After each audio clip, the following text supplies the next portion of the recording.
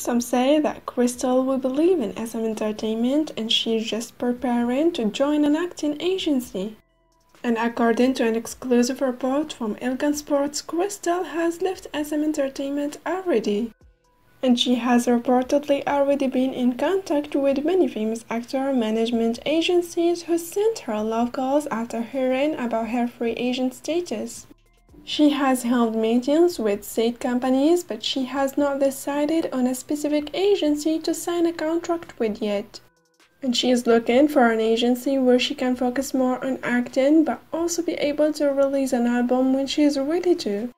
And SM Entertainment has just released their statement about Krystal contract confirming they're still in discussions with her.